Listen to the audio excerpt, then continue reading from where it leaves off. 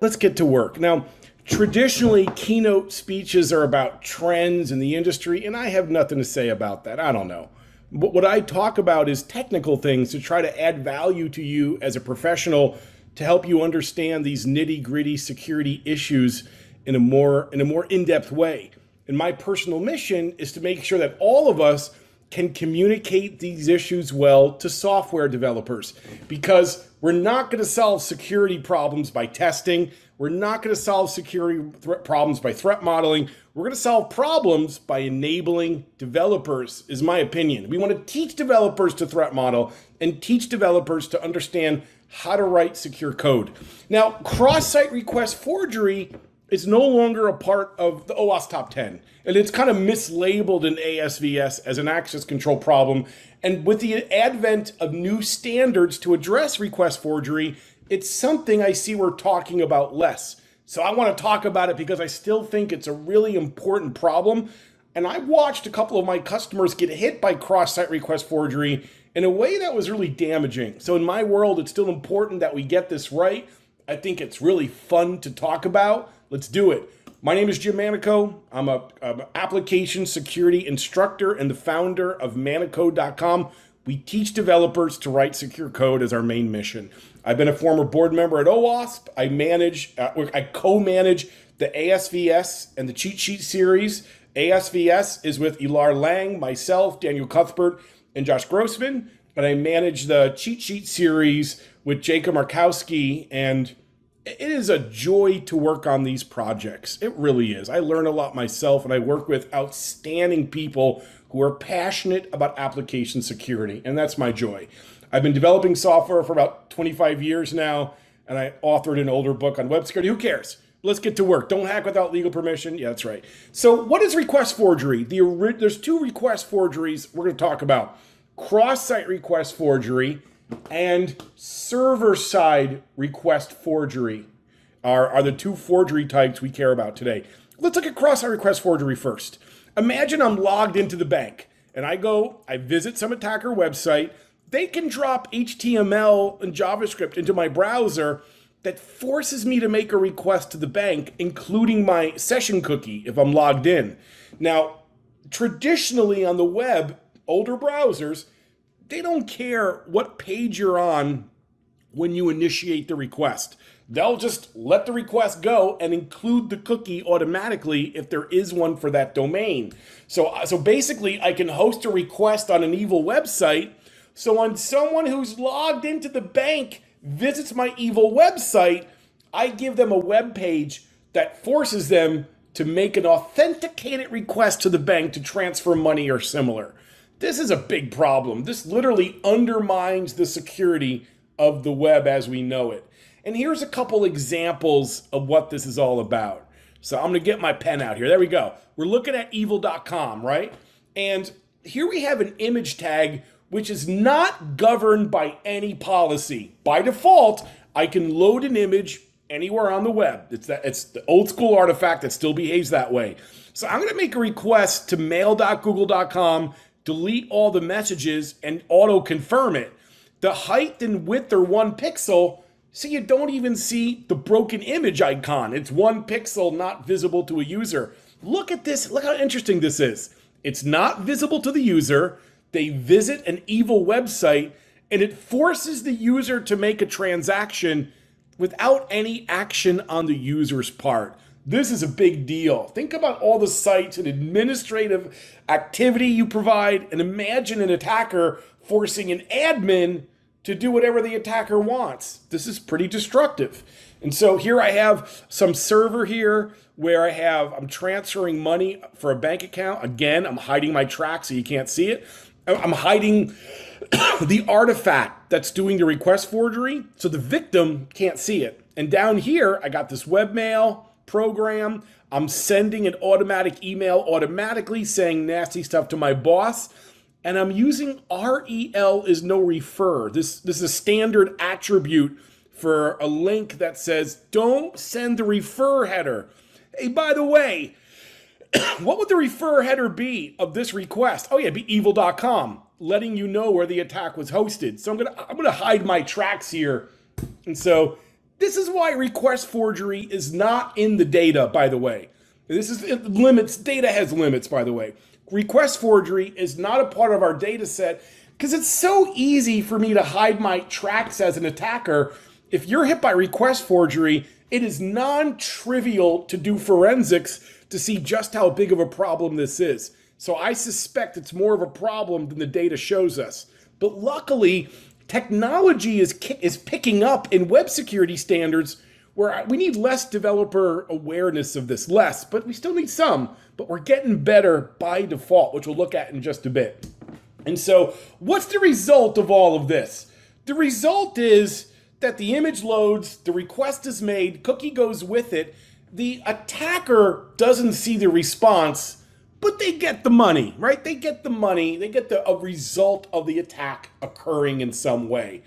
Here's a real famous attack. No, no, uh, not uh, sorry, there's not a famous attack. That's just a point I'm trying to make.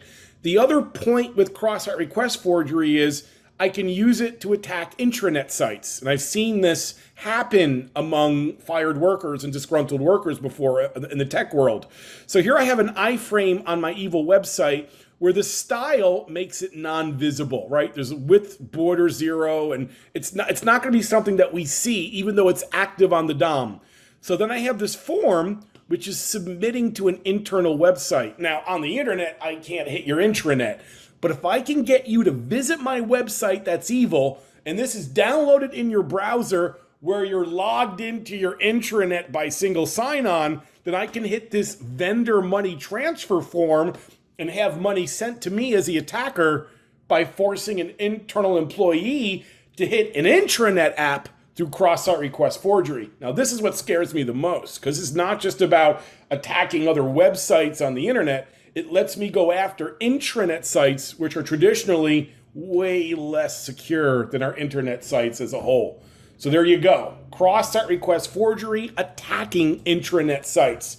This is one of the most famous incidents or, or famous known attack types against a certain service. This is back a long time ago in 2006, where for the DVD ordering service, this request forgery adds a movie to the queue, waits two seconds, calls load image two, which then adds this DVD movie to the top of your queue. And when this attack was when this was released by an attacker, it was an inappropriate movie for kids. But this is a way to show that even a site like Netflix, back many years ago, to their credit, would allow me to put this attack up and force users to have movies shipped to their house physically that they never ordered. Interesting. Last, what do we got here?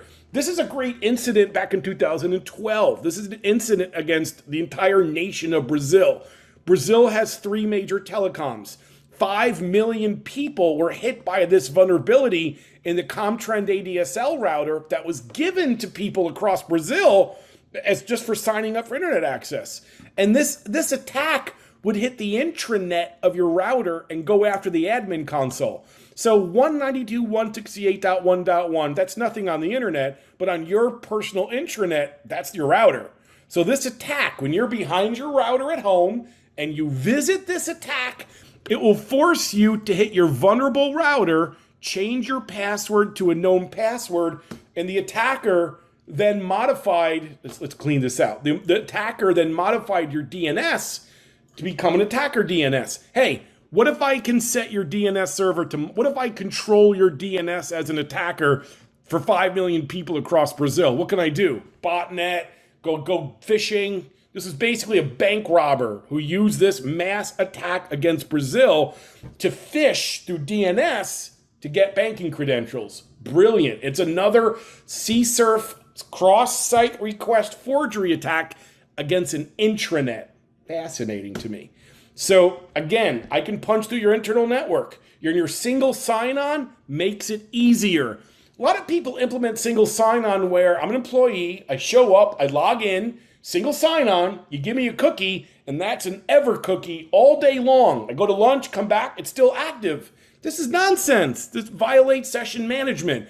For single sign-on, I like to break up my apps into different risk tiers. If it's a low risk app, Single sign on, you're in. If it's any kind of high risk, I do another multi factor challenge. So you're not giving staff seamless access to all your admin apps. It's nuts. That's how most folks roll, and it's dangerous. Here's an example of how to weaponize it as well. Now, how do you stop this problem? CSRF defense.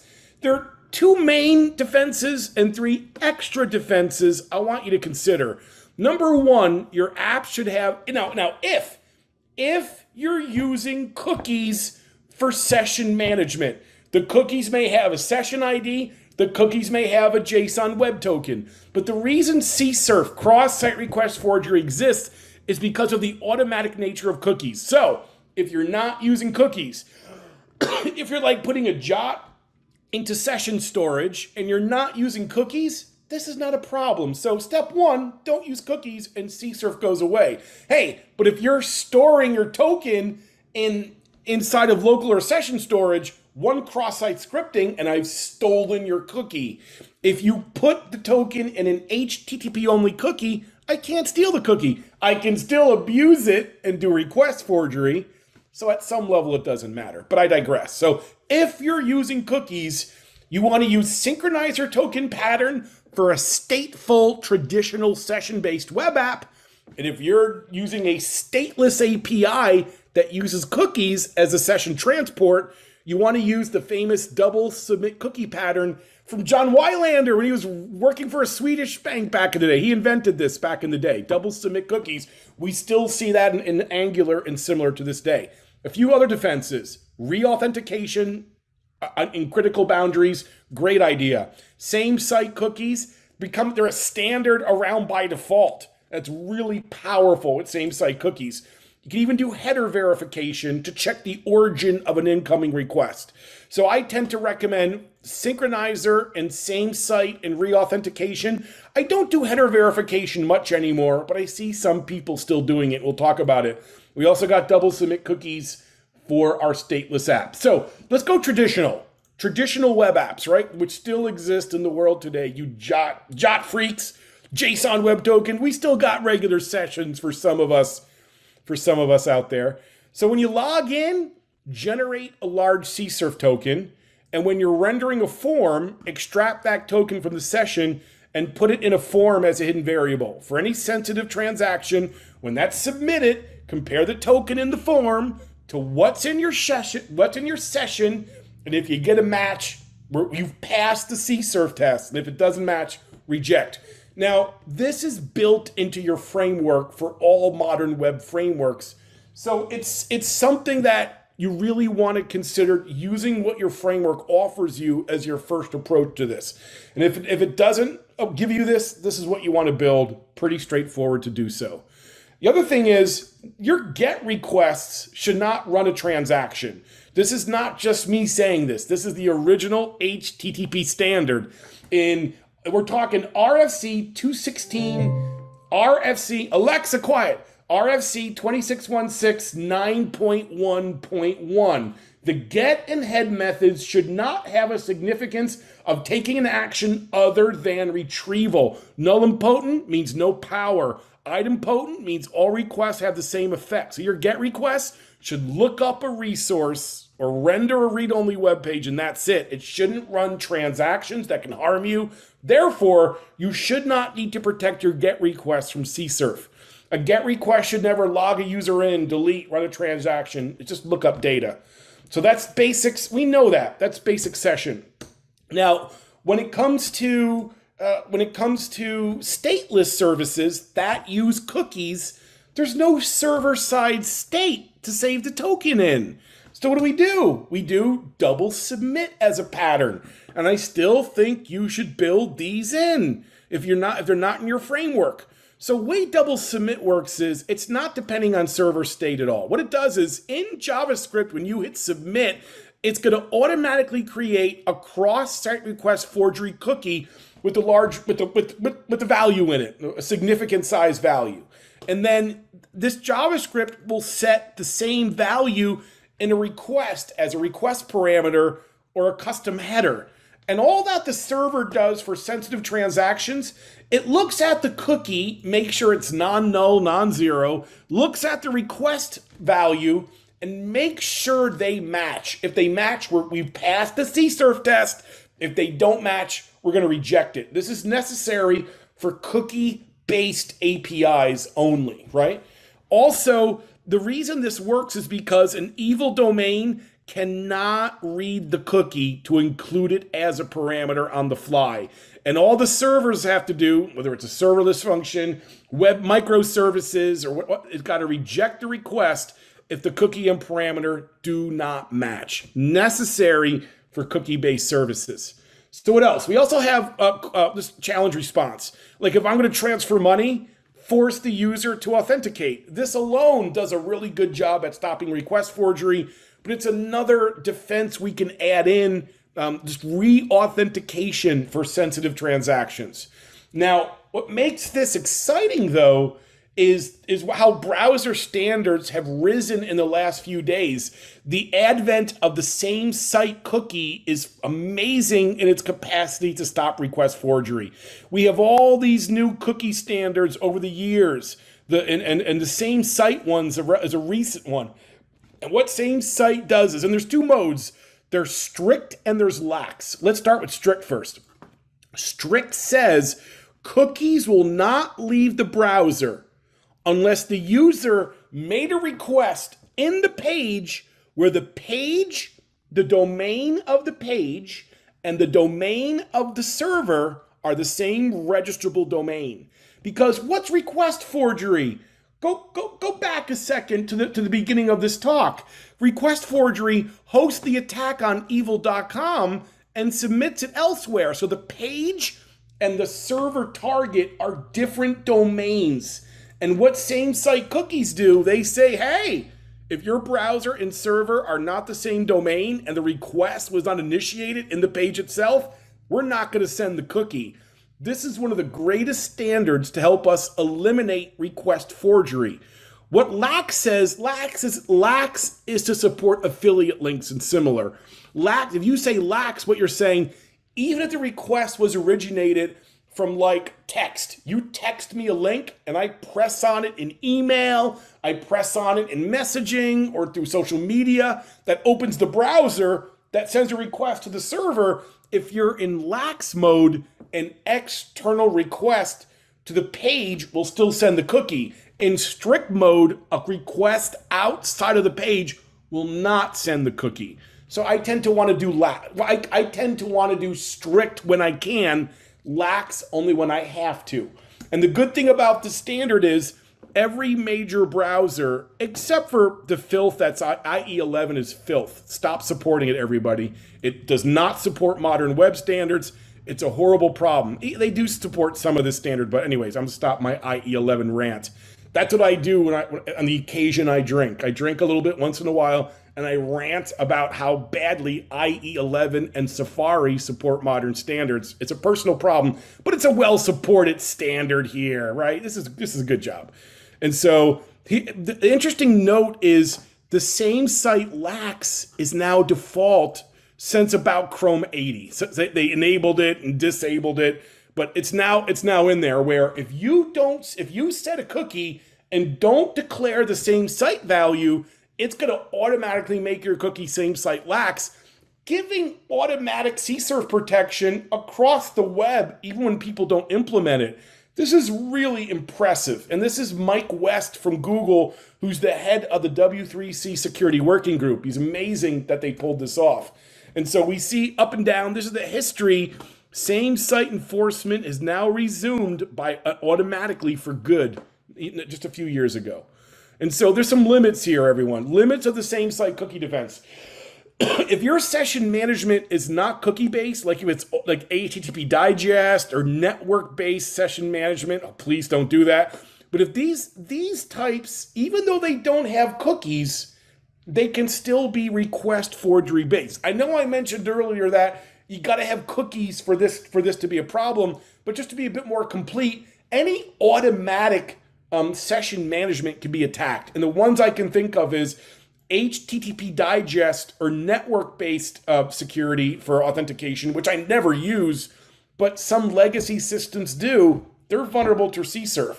Also, it's my belief you should not be giving up your subdomains, right? If you let an adversary control your subdomain, like some of the software services will have like, you know, manico.salesforce.com, you've given your your subdomain away.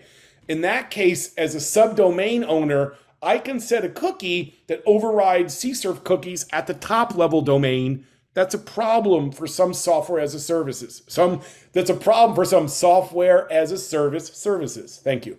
Not all browsers support same site. That's less of a problem every day. Another defense is I can check the origin header. I do this in addition to other defenses. I don't do it as much. I don't see it as much, but I can make sure the origin matches. If the origin header is not being sent, I can check the refer header and if and if both are missing, we can just fail gracefully. This is an option for legacy. And so the reason why I think this is, and again, we want the refer header often for analysis, and I can now control the refer header through a refer policy. Uh, by default, it's no longer sending the full URL. So I would override refer policy, strict origin when cross origin, so that way cross origin requests won't send the full URL, just the origin, which I can verify as part of request for origin defense as an option. A little more of a legacy option, but still an option. By the way, you got to get cross-site scripting correct. Content security policy and trusted types is critical here. Because if I got cross-site scripting in your site, I can defeat any request forgery defense like this.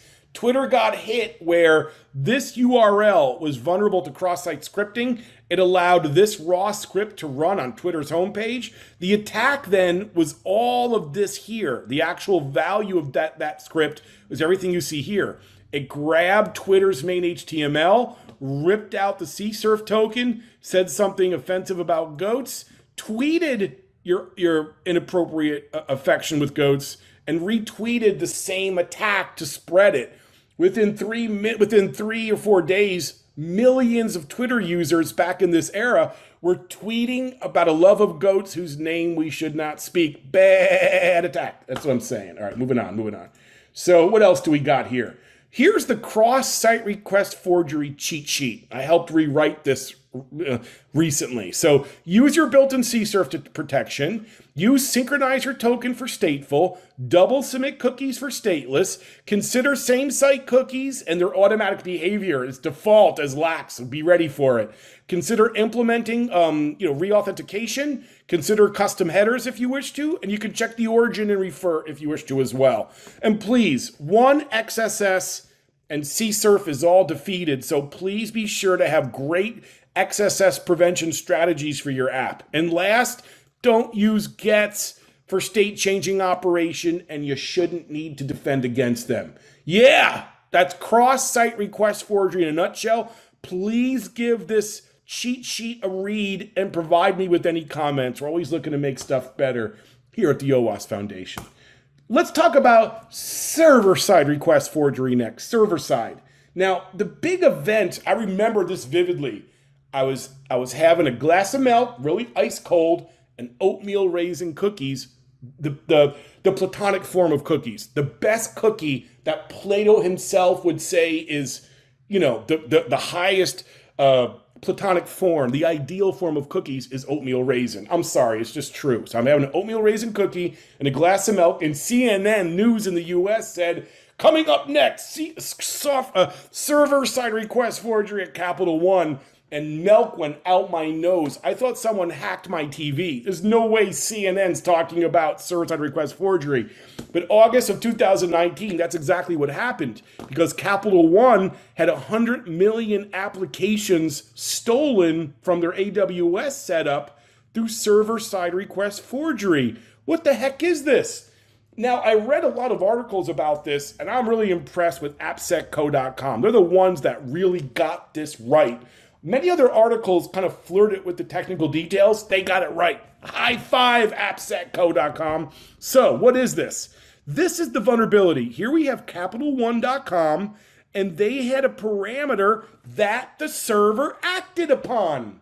Let me say this again Capital One had a parameter in the URL that itself was a complete URL that the server would act upon. And that URL used to be like a news article. Whoever the attacker was, she knew that this was an AWS application. She was an ex AWS employee, is my understanding. And she saw that Capital One was doing this and she couldn't help herself. She modified it. She, she, sorry, she modified it where it was a standard AWS artifact.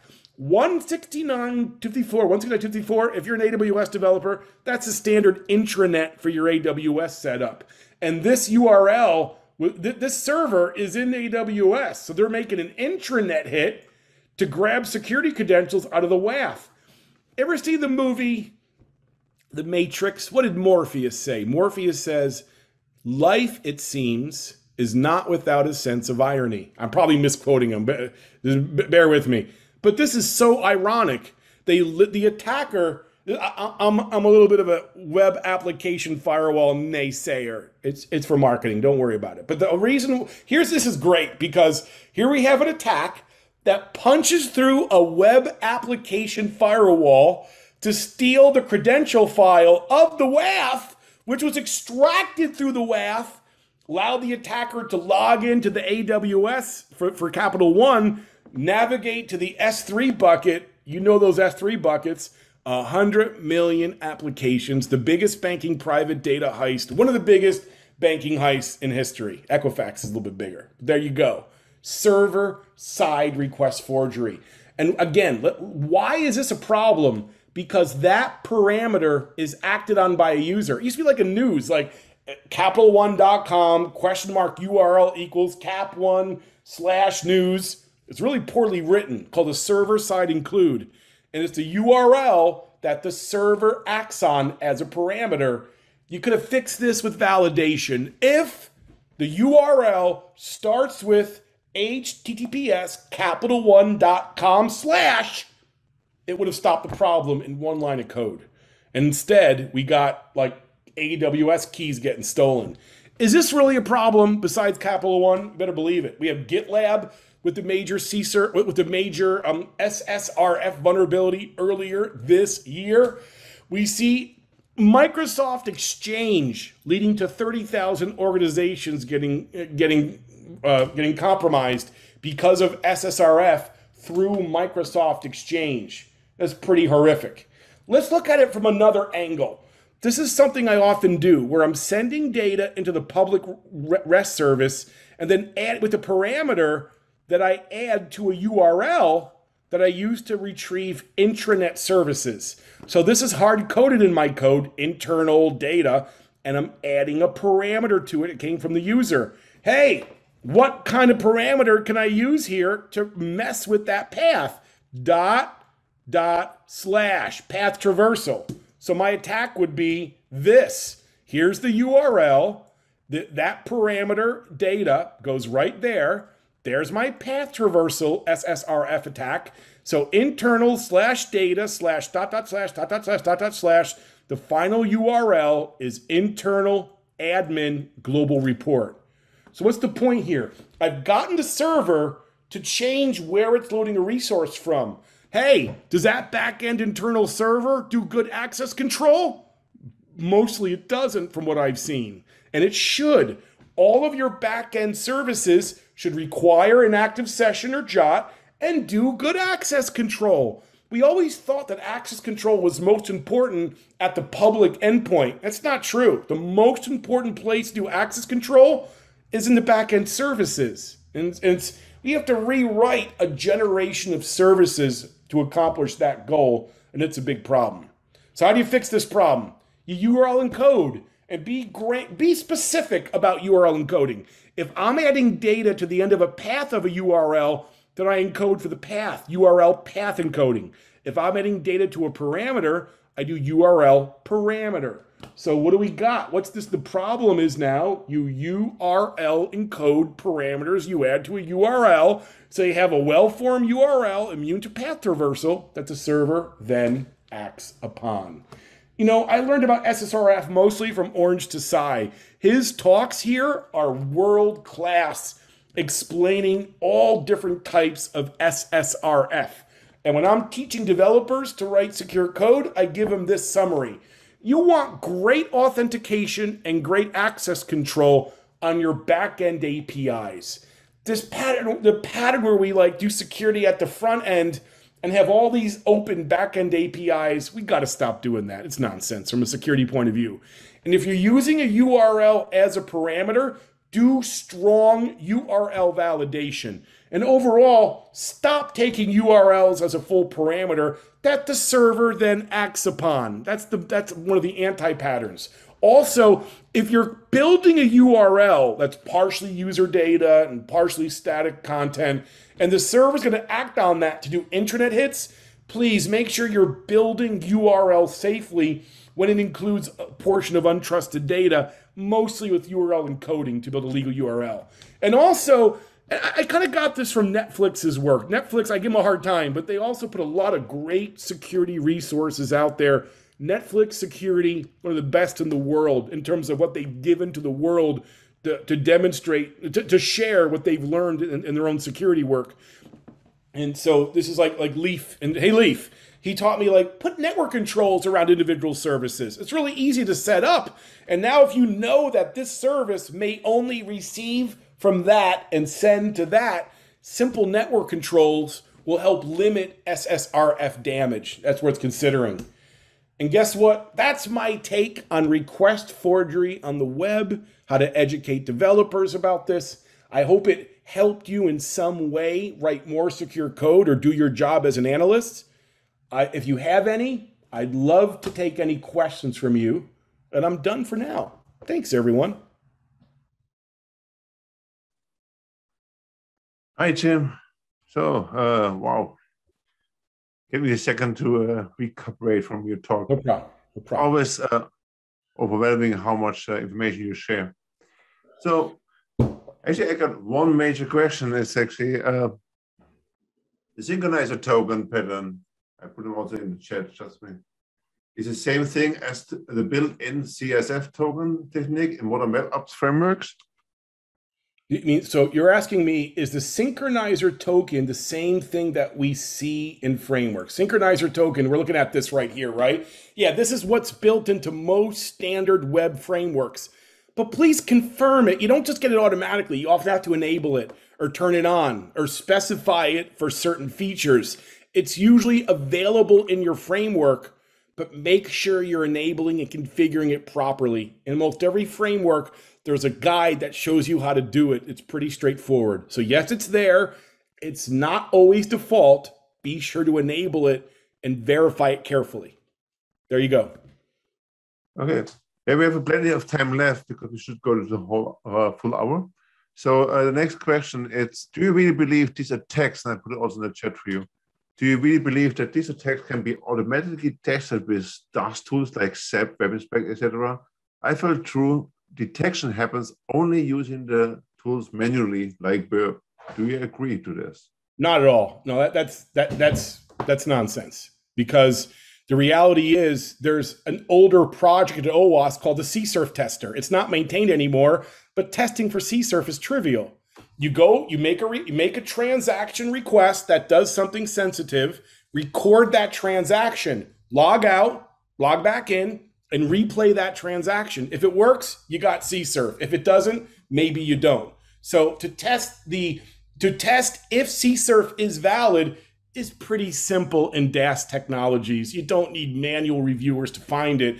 DAST does a good job, especially DAST right? Control authentication. Again, I log in, submit a transaction, record it, log out, log back in, resubmit the transaction. If it works, boom, you got CSRF done. So I can do this via DAST automation pretty easily. Burp does it. I know different services do it. So I, I respectfully don't agree that I got to do it manually. I don't agree. Automation's critical in the era of DevOps testing, and definitely we can test for CSRF statically, dynamically, absolutely. Any Other questions? Uh, and, and, by the uh, way, if you have a follow up, if you have a follow up comment and disagree with me, I encourage this discussion. This is helpful, so you're welcome to give me a follow up if you wish to. Go ahead. There's another question about. Wait. uh, sorry, there was a poll coming up in the interface between. So the other one question would be, would HMAC signing be a valid mechanism to validate data on the URL, assuming URL data does not show off your network? No, I don't like to because this is a client side control. Now maybe you may you may HMAC your token, but there's no need. You can just use a, a cryptographically random token. So I don't want the client to HMAC stuff. So I, I don't see HMACs as part of CSRF defense as viable. In fact, I surgically removed that from the cheat sheet after getting other experts to, to vet that that's not a really solid defense. There's no need to use HMACs and CSRF protection for my own work. That's, that's my opinion on that. And I'm, I'm open to change my mind if you give me a good example of how to do it. But all the previous cheat sheet talks on HMAC, when vetted by other experts, this is not a sensible defense from what I know. But I'm open to changing my mind if you give me better evidence.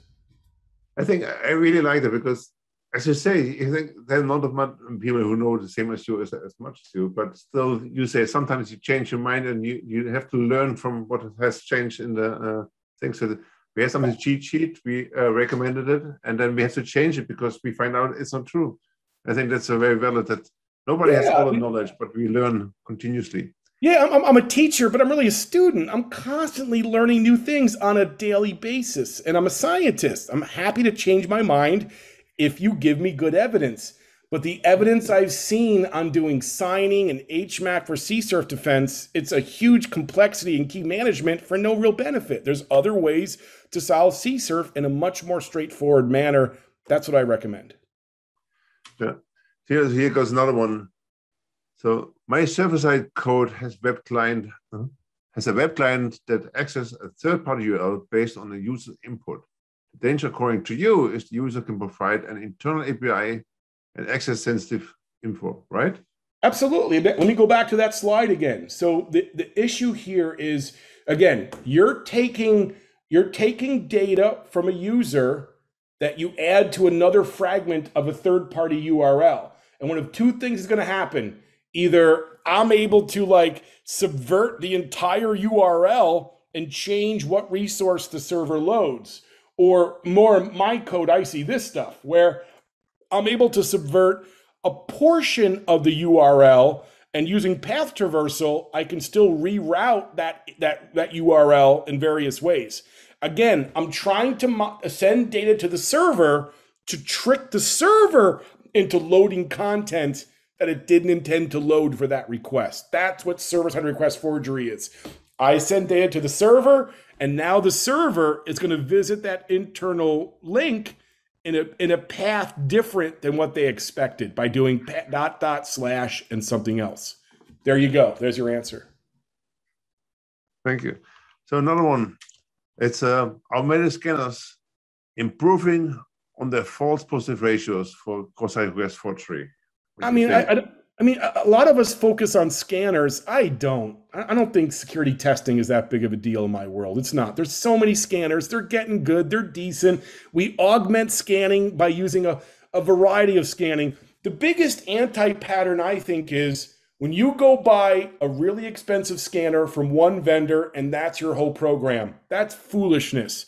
You want to use a combination of DAST, SAST, and I usually use two SAST products.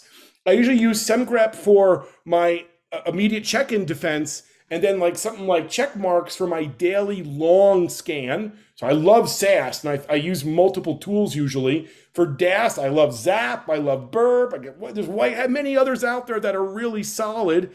And for for SCA, there's OWASP dependency check. There's vendors like Snyk and others who do a great job in that area. So I want to use a combination of those three tools. And I think IAST is kind of expensive, but it gives me some great results in dev testing. Some of my customers use some of these famous IAST tools. They're expensive, but they find some good stuff. So don't depend on any one tool. Have a combination of tools, mostly that are automated through DevOps lifecycle. Then you run your other longer scan tools in the evening as like a more long form scan. And that's how I like to do assurance. And I can do this turnkey these days. Just so I can do it in GitHub in like five minutes. I can ramp up, you know, different servers and get this running a lot more easy today. So my world, getting up a rigorous testing program, it's easy. They find CSRF, no problem. False positives, of course, you review. It's part of triage, is part of application security, and try to tune your tools to do less triage. And in most teams, we got mature capacity in this area these days. So what's the hard part? Getting developers to write secure code. This is my job in my world, but I'm, I care more about how do I get developers to do this right? And testing is no big deal. We have very mature testing now to find these problems. You got to go fix the bugs. That's the real issue today, in my opinion. Done. Yeah, what I else think, I think using one tool for security validation is like using the OWASP top 10 for a security program, right? I'm gonna I'm gonna steal that quote from you, Martin. Using one tool for your AppSec program is liking base is like basing your whole AppSec program off a top 10 list. I agree. High five. Okay. Look, I even said something nice about IAST. I almost never do that, but I did. So I'm not trying to use a collection of tools, including IAST. You can quote me on that, my IAST friends. Okay. So we have still plenty of time left, but I see the questions getting slower. So there's one question more personal note.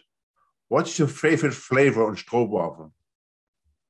Oh, maple stroopwafel. Is someone brought me maple stroopwafel when I was in Netherlands, when I was in uh, Amsterdam last giving a talk, and they were like, "Sir, this is going to be the best stroopwafel you've ever had, made made fresh from my town." And I'm like, and like everyone's handing me stroopwafels. I got I, I too much sugar, stacks of like dozens of them and I tried a little bit of all the stroopwafels given to me in Amsterdam. And that guy who claimed his maple homemade stroopwafel from his town was the best, his was not just the best, it was in a whole different category of excellence. I will always remember the moment that I bit into that maple stroopwafel, and it was the best ever. I won't forget it.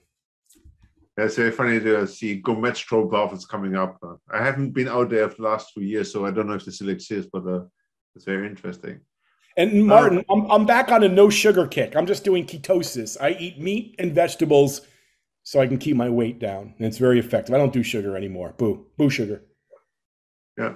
And also a nice comment, I think we know both. It's Kevin Wall says he felt cheated because you didn't cover uh, clickjacking. All right, let's do it. Let's do it real quick. Kevin, he's right. Hang on for a second. It, we ha- we got time. So Kevin, you are right even though I really enjoy cheating you in general, I will talk about clickjacking right now. Let's do it. Let me see if I can find it. Um, do I even have that presentation anymore? You're right. I forgot to add it in. I said I would in the topic. Uh, where is it? It's one of my oldest slide decks ever. Hang on, hang on, Kevin. I'm with you. Hang on. Click see if I can find it. In pro presentations, Kevin's right. Kevin's always right. He's especially right today. Here you go, Kevin. Clickjacking in a couple minutes. Clickjacking was originally called the UI redress attack by one of the original Mozilla developers. Is to trick a user into clicking on something they never had to click on. It's abusing framing and CSS transparency. So here's my site and the reality is, it's evil.com, and this is an overlay. Because what's going on here is there's an iframe with a certain width, height, and position with an opacity to make it invisible, and I'm framing Gmail here. Now this is an it's an active iframe on the top of the Z order stack. It's up front. It's the front thing I'm gonna I'm gonna face as a user, but it's set to opacity zero, so it looks transparent. Excuse me, Kevin even though it's there, it's transparent on the top of the Z order stack. So go back. When I click start game, when I click on it, I, you know, I, I click one player first.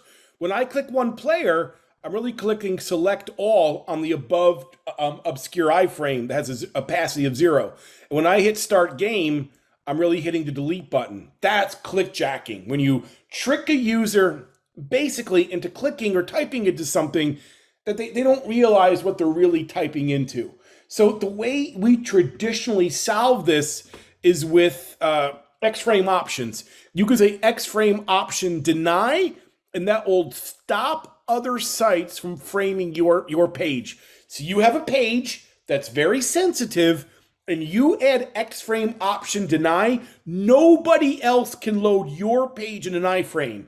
If you say same origin, then the same origin. And Kevin, the origin is the port, the host, plus the protocol. It's not a subdomain, it's host plus the protocol plus the port, Kevin. And so if you got if you if you're loading a X-frame option same origin page from the same origin, you may frame them, but no one else may. We know we can also say X-frame options allow from, but many of the browsers don't support this, so it's not going to be effective. Now, now let, let's break out of this for a second, Kevin. So that that's traditionally how you solve this, and browsers support it. The X-frame option response header forever. Now, wait a second, Kevin. I'm not done for I'm not done yet, Kevin. Kevin. The other thing you can do is you can say CSP frame ancestors, right? Let's go take a look at this real quick. If you're using content security policy, you can now do allow from and have a list of valid origins where the, the, the other X-frame option didn't support that. So I can say content security policy, frame ancestors, and have a list of parents who are allowed to frame me.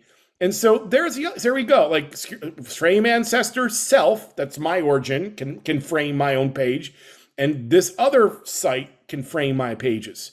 It's really simple to deploy this, Kevin.